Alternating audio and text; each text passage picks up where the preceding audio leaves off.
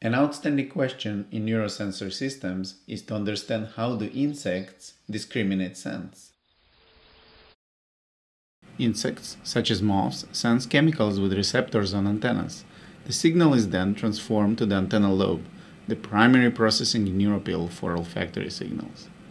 Recordings from neurons in the antennal lobe show that it produces a unique pattern of activity per each stimulus. These patterns are termed as neural codes. For example, in response to floral scent input, projection neurons produce the following firing pattern.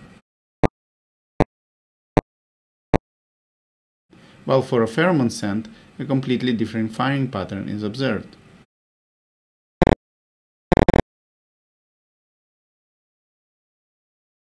So effectively, the antennal lobe acts like an odor encoder, coding distinct scents into distinct neural codes.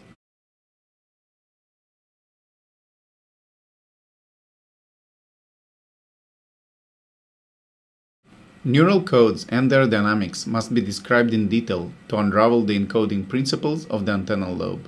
Such a description is currently lacking, since the connectome of the antennal lobe is unresolved. In our study, we propose a novel approach to construct the network wiring from data and establish a dynamical model. We perform experiments on male moths perceiving different stimuli and record the activity of more than 100 neurons. Our main contributions are constructing an optimal odor space, scent recognition, and finding the connectome that supports encoding dynamics. The key step of our method is to derive an orthogonal representation of scents from recordings. For example, these two axes represent two different odors, and the fixed points represent the thresholds that will be used for recognition.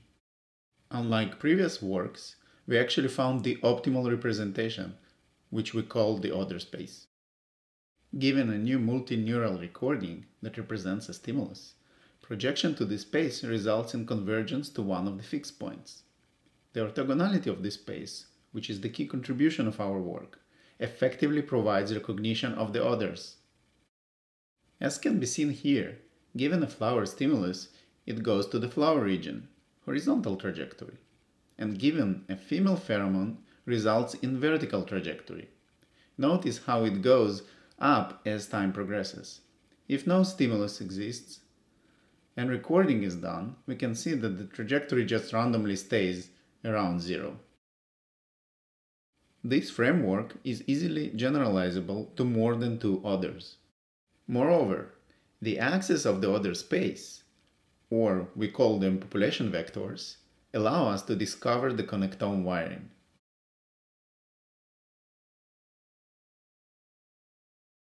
We show that this is an optimal wiring, as it maximizes the contrast of neural codes. Simulating the dynamics of the connectome reveals that its trajectories are similar to the experimental ones, and suggests that the dynamical principles upon which the model was designed are the principles underlying the antennal lobe wiring.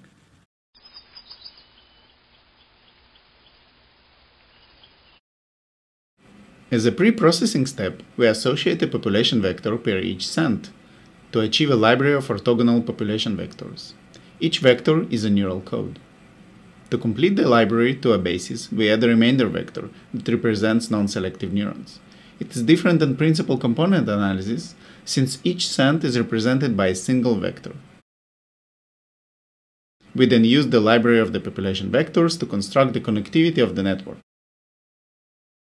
At the first step, we project the implicit network onto the population vectors and obtain a reduced model.